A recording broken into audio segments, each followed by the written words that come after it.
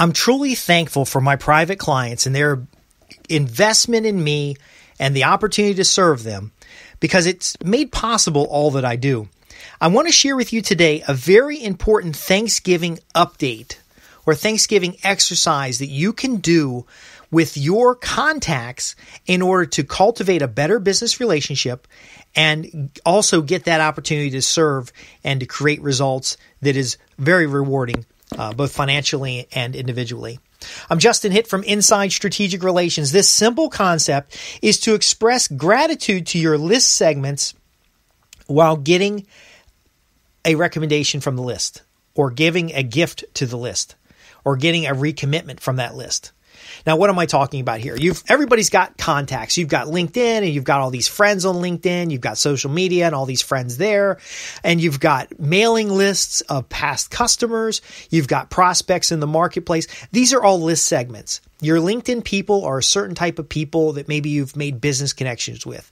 Your Facebook people are people who have been friends or have made requests over the years, maybe high school grad, you know, your high school class or your college class ultimately each of these segments have different needs and you want different things from those folks. So your high school people, you want the gratification of them recognizing how much better off you've done than they have done in their lives. I don't, I don't know what it is for you. I, that's not what it is for me, but maybe you want to kindle old connections. Maybe you want to make sure uh, you have, you create recreational opportunities with these folks. Your uh, LinkedIn page, sometimes you might be looking for a new opportunity. And so you want to connect with those folks in case an opportunity comes up that's in your area and ultimately stay in touch for that reason. Now, by the way, if you don't have a reason for each of these lists, if you don't have a reason to go on Facebook or you don't have a reason for uh, LinkedIn or these other platforms, don't don't mess with them. I, I, I, warn you right now, social media is designed in such a way to become addictive. It's designed for you to connect with and stay connected with because they're monetizing your attention. Now, in the uh, other way, if you are using social media to research individuals, to set up sales opportunities, to stay connected with family members, and, and that's their preferred method, then you got to use it for what works for you. That's the kind of the whole theme of strategic relations. Uh, leverage mutually beneficial relationships for the things that you want while helping other people get what they want. So here, here's what we've got. We've got Thanksgiving coming up. Today is uh, November 24th. And what if there was a way that you could reach out to each of these segments in a meaningful way that, again, helps you reestablish that connection so, for example, I've got old mailing lists that are in my contact management system, but I've changed over to another list management system, and these people are not on the new list. What could I do to get them to raise their hand and get on the new list so that I have permission to contact them in the future? Uh, what about friends that you haven't talked to with talked with it in a while? There are some folks that around the holidays I think about, and I like to reach out to them in a meaningful way just to let them know, hey, I'm thinking about you. Maybe they're having a rough time. You know, with COVID, a lot of folks are locked in, a lot of folks haven't been out. Uh, are you uh, sending notes to those people and saying, hey, I'm thinking about you. Hope everything's okay. Uh, you know, here's some updates. I'm, I'm going to give you a formula here in a minute, but the key is, is are you making the effort for connection? Okay, nobody's going to reach out to you. If they do, it's going to be superficial. But if you want results from other people, you've got to establish strong relationships. And so I got this idea from a friend of mine who calls me periodically and he's just, "Hey, how you doing? Here's what I've been doing. What have you been up to? You know, what are you looking what are, what are you looking to do in the future?" And it goes like this. So I create a letter for my newsletter folks or my my contact management list and I find a segment and I say, look, I'm thankful to help you. I'm thankful to help high income professionals and entrepreneurs create stronger and more powerful business relationships. And, and then I tell the truth. Over the years, many of my clients have thanked me for being able to deliver these results for them. But I'm ultimately thankful for the opportunity to serve them. That's her first paragraph. You're expressing your gratitude to the other person. Hey, I'm thankful for you thinking of me over the year. And I'd like to, to just let you know that I'm thinking about you and I'm wishing you the very best. Something sincere, something open. Next, you're gonna you're gonna open up specifically, number two is is what are you thankful about them? Hey, I'm thankful that you touch base with me every so often because I'm not always keeping up with the people I know. And it's really meaningful to me that you take the time to do that. There you go. See, I've shared something important, something valuable for a client. Hey, uh, you specifically have got involved with our accounting services. Imagine this. Imagine what how you would feel if your CPA sent you a note around Thanksgiving that said, I'm very thankful for the opportunity to do accounting work and complex bookkeeping for my clients. I'm specifically thankful for you as a client who regularly does their taxes with us and we we and it was great to talk with you last week or last month about your tax planning situation. Okay? And then number 3 is you tell them where they can get more information. If you'd like to get some resources to help us plan for next year's taxes, I've put together this free report on my website. Click here. Okay, so you have a sincere message. How would you feel if your CPA contacted you and said, "Look, man, thanks for doing business with us for over the years, and I know the tax code is is complex and difficult, but I'm glad together we've been able to solve the challenges you have around paying lower taxes legally." You'd be like, "Oh my gosh, uh, thanks for thinking of it. Yeah, appreciate it, man. Thanks for thinking." And if he said, "Oh, by the way." Um, we have this new gift, and if you're interested in this gift, I'd like to send it to you you know, the gift could be an actual gift. It could be a, a, flower basket. I did this one time with clients, and we had made arrangements with a local restaurant. Now, a little difficult during COVID, but I was friends with the owner of the restaurant, and I bought meal vouchers. So I bought a coupon, a gift certificate, and I wrote my clients and I said, "Look, I'm very thankful for you investing. Uh, I've I've been my um, my brain gets little farts every so often." I guess that's having a stroke at 22 is going to do to you. Anyway, I wrote to them using the same formula. Hey, I'm thankful to help many fleet owners with their fueling needs. I responded, I'm also thankful for you being a long term customer. And I actually mail merged when they started being a customer. Uh, I've worked with a local restaurant to get 15 mail, meal vouchers for my clients. If you're interested, let me know. Raise your hand. Let me know. Okay. I ended up giving out all 15 meal vouchers and they all enjoyed the restaurant, which my, was my friend's restaurant. And that was Goodwill. And it cost me, I think, is $10 a plate. The regular meals were like 25 bucks. It was a decent restaurant, kind of a family style, but decent restaurant. I got the tickets for $10 a plate because I bought a whole bunch of them at one time. And ultimately, I offered them as a gift to say thank you. Thank you for being a customer. Now, as a salesperson, what did this mean to me? Well, it cost me about a dollar to two dollars per letter that went out. And then, of course, I paid $10 per voucher, and so probably another dollar for the response uh, for the folks. I sent the letter out to maybe 100 people, and I, I had people actually had to call in to get the voucher, or they had to, to fax something in to get the voucher. Uh, so I didn't. I ended up giving away all the vouchers, and I think I bought a couple extra because there are a few extra people that asked. But that turned into six thousand dollars in new business in the next ninety days. So I spent hundred dollars on the letters, uh, probably 150 200 dollars on the vouchers, and altogether I'm in maybe four hundred dollars. I get six thousand dollars in commissions. Now, what did the people get when they got the letter? Well, they got the same feeling you may get if your CPA or account or accountant or lawyer wrote you a letter and said, "Hey, thanks. You know, I've been fortunate to help people with their divorces, and I've been able to help people with their legal challenges." And I, I was, you know, it's an unfortunate situation, but I'm happy I was able to be of service to you during your divorce. And by the way, here's a, a, a, guide from a counselor that I work with that has the five mental state issues you need to be aware of after a divorce that might be useful to you if you're part of their divorce segment. If you're part of their segment because it could be anything could be any topic. The key here is is again you're expressing your gratefulness and your your thankfulness by the segment reinforcing the value you created in that segment specifically addressing that individual. Now you could actually write to each individual which i've done in the past and it works out well uh, it's it's definitely worth the time. But you can also just talk through the whole segment. Hey, I'm thankful that in the last 12 months I've been able to help you find the home of your dreams. So you're a real estate agent.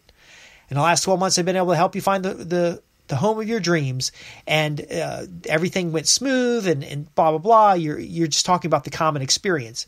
You literally send that to a list of everybody who's bought from you in the last 12 months. And then after that, you can have a referral. Uh, you know, many of my best clients look just like the clients I have. And so that's why referrals are so important. And that's why I'm offering uh, just for asking about how you might be able to refer this free gift. You're not asking them to refer. You're saying that if you wanted to refer, I'd be happy to share more information about how you can refer. And for doing so, I'd like to send you a holiday gift. See, a lot of folks would understand that you might send a letter out because there's a limited number of gifts and gifts are so expensive. And if they really want the gift, they can certainly acknowledge that they're interested and you'll be happy to send them that gift. And if that gift forwards or facilitates their goals and objectives, then it's just goodwill. It's that warm, glowing feeling that they'll have when they think about you. If someone else says, you know, who's a real estate agent that you trust? Well, look, this, this real estate agent said thank you. I've worked a lot of real estate agents, and very few of them ever say thank you.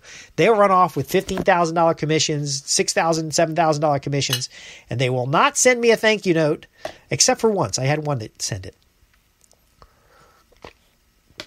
So, what's your takeaway? Again, it's formulaic. You can do it event based with Thanksgiving, for example. It's narrow scoped to your list segments.